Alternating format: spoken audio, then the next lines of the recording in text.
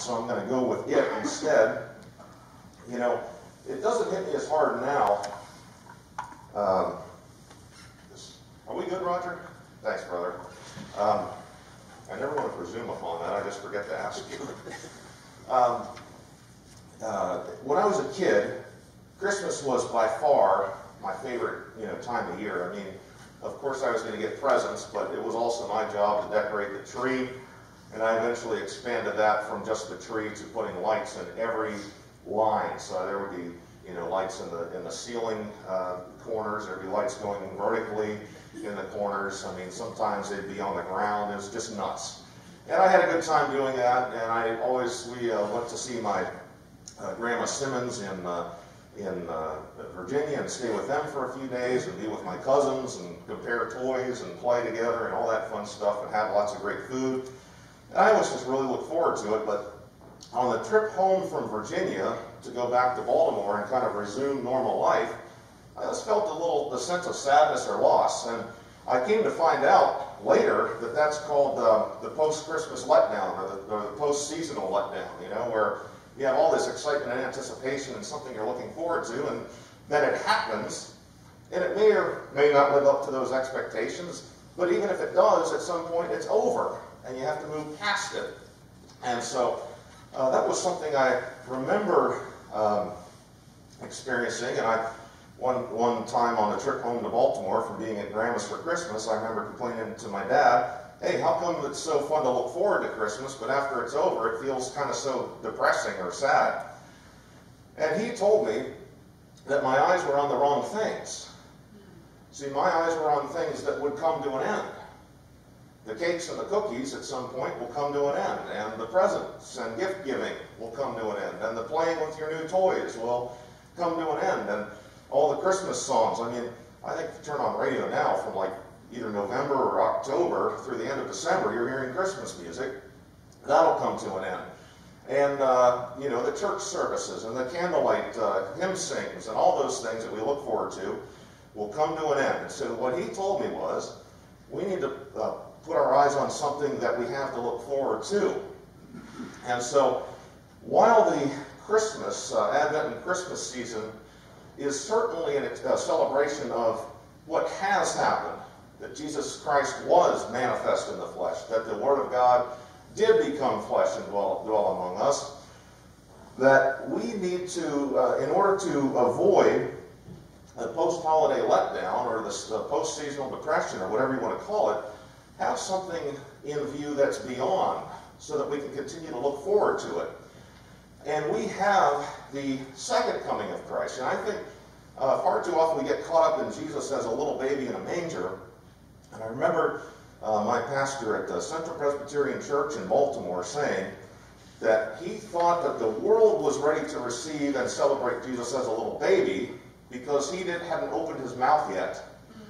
Uh, and he hadn't uh, braided a, a, whip of cords and driven out the money changers in the temple yet. And he hadn't uh, offended everyone and anyone with the teaching of, of God's word and the doctrines uh, that, that ran counter to their culture and to their religious traditions yet. Now, everyone's willing to receive a cute little baby, but when he grows up and actually does something for God, they're not so keen on receiving him. Now, you and I who have trusted in the Lord Jesus Christ as Savior, we have dealt with those things uh, to an extent. Now, every time we open the Scriptures, the Gospels, Jesus is saying something else that hadn't occurred to us before that offends us and gives us something in our lives yet again, in our hearts yet again, that needs to be changed. But we have come to understand that those are more opportunities than they are points of, uh, of uh, condemnation. You see, the Holy Spirit convicts with hope. He says, This is what's wrong in your thinking. This is what's wrong in your heart. This is what's wrong in your speech. This is what's wrong in your actions. But if you'll allow me to work through you, I will change that and, and, and take your weakness and make it into a strength. So we've come to understand that, but the world hasn't. And they're not ready to receive Christ as offensive, as, uh, as uh, aggressive, as telling the truth, as um, not living up to men's expectations, but only doing what God told him to do. They're not willing to or ready to receive him that way. But you and I are. And so to avoid the post-Christmas letdown, we can remember not only who Jesus was when he was laid in a manger wrapped in swaddling clothes, we can remember who he became. And we can look forward to maybe learning some things about that from him. You know, everyone asks what happened to Jesus when he was a teenager. There was actually some, uh, some indications of what Jesus was like as a teenager, and we find those from Luke chapter 2. And let's see. It says in Luke chapter 2 and verse 40 The child grew and waxed strong in spirit, filled with wisdom, and the grace of God was upon him. That's a child. That's from eight days old after he's been presented in the temple and circumcised according to uh, the law that he actually gave Moses on Mount Sinai. Uh, then uh, it says that as, as a child he grew, he waxed strong in spirit. He was filled with wisdom, and the grace of God was upon him. And then it says in verse 41 Now his parents went to Jerusalem every year at the feast of the Passover. And when he was 12 years old, they went up to Jerusalem after the custom of the feast. So every year they went up to Jerusalem for Passover. It just so happened that when Jesus was 12, that they went again. And I think we uh, know the story how uh, they celebrated the feast. Then his parents went home and they discovered that Jesus was, was not among them. They had gone a day's journey. And, uh, you know, I know us men are, are hesitant to uh, ask for directions or to turn around even when it's revealed to us that we've gone the wrong way. Uh, but his parents had to turn around and walk uh, two extra days' journey in order to get Jesus. They had to walk one day back to Jerusalem, and once they get him, and maybe tan his backside, then they have to walk the extra day in the other direction. Uh, so, uh, and they find him teaching in the temple and the, and the Pharisees and the scribes and the teachers of the law were marveling at the wisdom that was pouring out of him, at the knowledge of God's scriptures and holy word. Now, it, it's funny to see, okay, here's the God who wrote the law, now in the temple teaching the law. But remember, he was also a 12 year old boy. And so, of course, like even knowing he was the Son of God, I marvel that as a 12 year old boy, Jesus was in the temple teaching people who had been studying the book and teaching the book for 30, 40, 50 years. And they were marveling at his wisdom and knowledge and his understanding. In the Jewish tradition, and they even do this today, when a, a boy or girl turns 12, they're considered to be, in some sense, an adult. You know, a boy who turns 12 is now a, a young man. And they celebrate the bar and the bat mitzvah when a Jewish boy or girl turns 12 even today. It's a big celebration. And at that time, in Jesus' day, it was uh, considered that a 12 year old boy was to then learn the custom and trade of his father so that he could grow up in it. And when his father passed on, he would carry, up, carry on doing that customer trade. We know that uh, Jesus was a carpenter because he was the son of a carpenter, Joseph. But when his mother and father found him in the temple teaching, he said to his mother, Did you not know that I must be about my father's business? He wasn't doing any carpentry in the temple. It was somehow revealed to him at the age 12, maybe because they were at the, uh, Jerusalem for the Passover, and maybe by the Holy Spirit, God tapped young Jesus, 12 years old, just become a man, on the shoulder and said, One day you are going to be that Passover lamb that you see sacrificed. One day you are going to be the teacher of Israel. One day you are going to be the high priest over Israel. And so Jesus was getting a head start at the age of 12, learning and going about and practicing doing his father's business. And it says at the conclusion of that story in Luke chapter 2 and Verse 52. This is the only verse we have about Jesus' teenage and young adult years. And Jesus increased in wisdom and stature and in favor with God and man. So I appreciate that Christmas is about a cute little baby.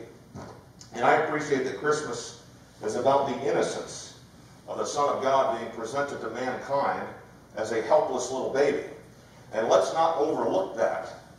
Let's not forget that, in a sense, the Word of God who became flesh and dwelt among us entrusted himself to humanity. And we know how vile and violent and greedy and selfish and, and, uh, and, and, and, uh, uh self centered humanity is. And yet God said, I love you so much. I will become one of you and present myself to you, and as a baby, helpless and totally at your mercy. Let's not forget that God, God loved us so much, and the plan of salvation was so precious and important to him that he presented himself helpless and innocent as a little baby, and literally anything could have happened to him. You know what a chance God was taking doing that? You know what a chance the Word of God was taking becoming one of us? And it only got better from there. So we don't say stuck at Christmas. It only got better. It says that he increased in wisdom and stature and in favor with God and man. There's nothing wrong with people liking you. That's what favor with man means. You know, oftentimes we'll get suspicious.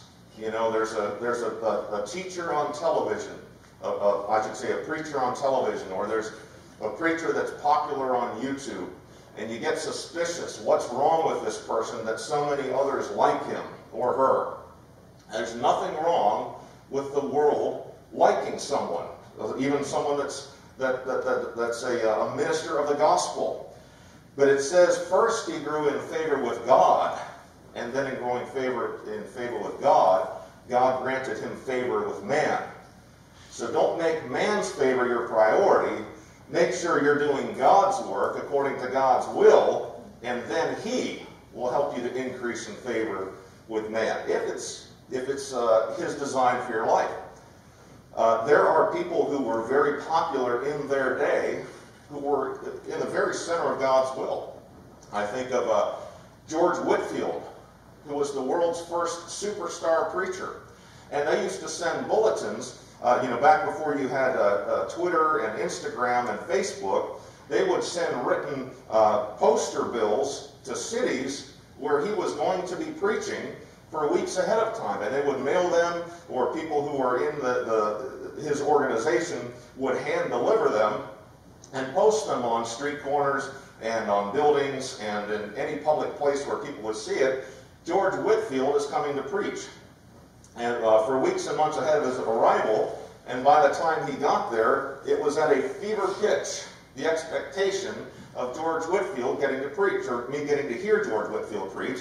And he would draw thousands and tens of thousands of people to hear the gospel of Jesus Christ. But the key is that he was seeking to do God's will and gain favor with God, and God then granted him favor with man. So let's not get that out of, out of whack. But it's not a hallmark or a badge of honor for a Christian to be despised by the society in which they live. In fact, Christians ought to be the best citizens of any society in which they live. The government ought to know that Christians are not going to break the law. The government ought to know that Christians are going to pay their taxes. The government ought to know that when there are uh, uh, uh, which natural disasters, that the Christians are going to be the first ones to help their neighbors. We ought to grow in favor with man because we're first seeking to grow in favor with God. It says he grew in stature. That means he got taller, and that's just part of the, the natural process of growing up but it also means his shoulders got broader. And I would say there's nothing wrong. In fact, there's something very right about young people doing hard physical labor and engaging in sports and other activities that will help them to grow in stature. Uh, we shouldn't have uh, sedentary teenagers in front of the computer all day, uh, texting and tweeting and playing video games. They ought to be out doing things that will make their shoulders broader and their arms thicker and their legs stronger. Uh, we ought to encourage our children in sports, uh, not to uh, not not to step on others in order to get ahead, but to improve themselves in a way that they show forth on the athletic field or on the basketball court. It's okay and it's uh, highly encouraged, and Jesus showed us that we ought to grow in stature. And first of all, he grew in wisdom. He grew in wisdom. That means he learned. That means he studied. That means he remembered. That means he reread things that he had already read before uh, so that he would continue uh, to refresh his mind and refresh his memory and learn new concepts that he had not yet been introduced to. Uh, our young people and even us older folks need to study. We need to be in books. We need to be in God's Word. Uh, we need to be listening to Christian teachers and preachers. We need to be reading on other subjects, you know, like music, like home improvement, uh, like, like culture, uh, like arts. We need to be growing in mind and in wisdom. And, and Jesus did all these things. And then finally, I want to show you what happened to Jesus as a result of that process. It says he grew in wisdom and stature and in favor with God and man. He presented himself to humanity as a baby in a manger, helpless and innocent. He then presented himself to Pontius Pilate and said nothing against the accusations that were brought against him. He presented himself again, helpless and innocent. He was handed over to sinners who crucified him. He was buried in a borrowed tomb, and three days later he rose again. And then, before he ascended into heaven, he commanded his disciples two things go into all the world and preach the gospel to every creature, and go and make disciples of all nations, baptizing them in the name of the Father and the Son and the Holy Spirit. And he's in heaven now, but here's what he's going to look like when he comes back. Revelation chapter 1 and verse 9. I, John, who am also your brother and companion in tribulation and in the kingdom and patience of Jesus Christ, was in the isle that is called Patmos for the word of God and for the testimony of Jesus Christ. I was in the Spirit on the Lord's day. That's the first day of the week, the day we celebrate the resurrection of Jesus Christ, every Sunday. And heard behind me a great voice as of a trumpet saying, I am Alpha and Omega, the first and the last.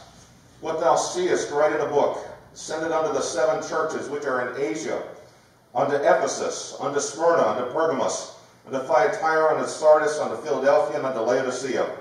And I turned to see the voice that spake with me, and being turned, I saw seven golden candlesticks. And in the midst of the seven candlesticks was one like unto the Son of Man, clothed with a garment, garment down to the foot, girt about the breast with a golden girdle his head and his hairs were white like wool, as white as snow, and his eyes were as a flame of fire.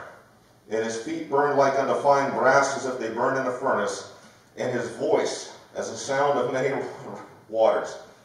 And he had in his right hand seven stars, and out of his mouth went a two, sharp two-edged sword, and his countenance was as the sun shineth in his strength. His face as bright as the sun, his hair is wool white. His eyes are as a flame of fire, seeing through, uh, seeing through my lies, seeing through my excuses, seeing through my fears, seeing through my doubts, and looking deep into the depths of my soul and in the depths of your soul. There is something to look forward to. Don't forget that Jesus was a cute little baby in a manger. But don't forget that he's coming back as the lion of the tribe of Judah. Don't forget that he will see through the lies and excuses of humanity. Don't forget that a sharp two-edged sword proceeds out of his mouth. And anyone that's running counter to the will and work of God is going to be cut down when Jesus returns. So you and I need not stay in the post-holiday letdown because we have something even greater than the manger in Bethlehem to look forward to. It says his voice was as the sound of many waters. And I've often wondered, what is the attraction of waterfalls uh, to people? We will hike uh, dozens and sometimes uh, close to 100 miles just to see a remote waterfall. And it's simply a ledge off which water plunges into a lower pool. Uh, when you think about the dynamics and the, and, and the rational uh, explanations behind it, it doesn't make any sense. until I read that Jesus' voice was as the sound of many waters. And I wonder if when we come to that uh, beautiful waterfall and the mist coming off and the thunderous cascade of the, of the water hitting the rocks and the pools beneath, if we are not getting uh, just a foretaste of the sound of Jesus' voice when he returns, we have something even greater to look forward to. So I say instead of a post-holiday letdown, we have a post-Christmas ramp-up to the return of Jesus Christ. I'll invite the musicians and singers forward to close us in worship.